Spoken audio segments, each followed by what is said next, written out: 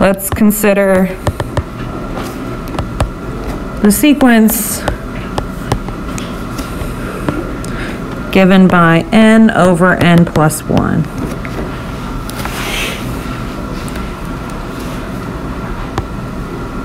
Okay. And we wrote out some terms of this sequence previously, right? We wrote out the first several. Uh, I wrote out the first one was one half and two thirds and three fourths and four fifths and so on.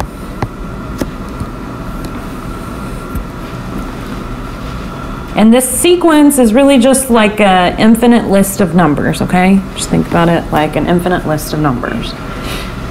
And I want a way of visualizing these numbers.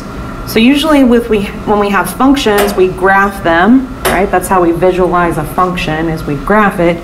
Same kind of thing here. We're gonna graph this. And really, this sequence, because it's a list of numbers, the graph is just gonna be a bunch of points, okay? So let's graph.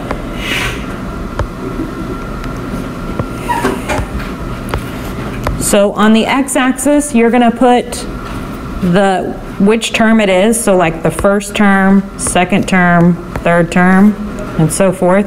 And then you're gonna plot the value that you got for that term. So for the first term, I get one half, so halfway between zero and one. Second term, I got two thirds. Okay. Three fourths. Four fifths. Probably should change this one, make it a little higher.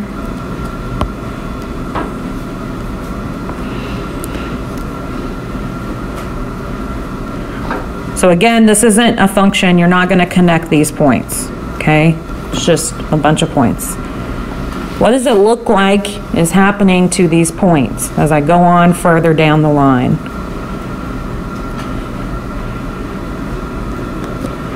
These points, so if I do another one, right, if I do five, it would be five sixths. Six, it would be six sevenths. They're getting closer to one, right? Getting closer and closer to one. Okay. It looks like the numbers numbers in the sequence get closer to 1. So let's see if we can formalize that. Closer is a distance measurement, right? So I just need to take the difference between 1 and the terms in my sequence.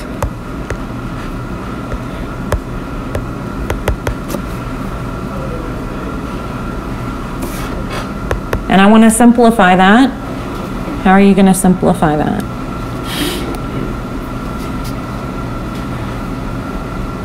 Get a common denominator. Okay, great.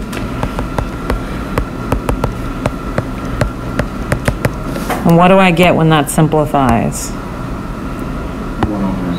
1 over n plus 1. And now we want to think about that's the difference between 1 and the numbers in our sequence. And we're looking as our numbers are getting larger, right? So as n gets larger, what's happening to this fraction? It gets closer to zero, right? It gets closer to zero. Okay, so what this is telling us is essentially this idea that I'm not gonna, I need to formalize this in a second, but the limit of our sequence is one. So as I get, as the, n gets really large, my numbers and my list are getting closer and closer to one, yep.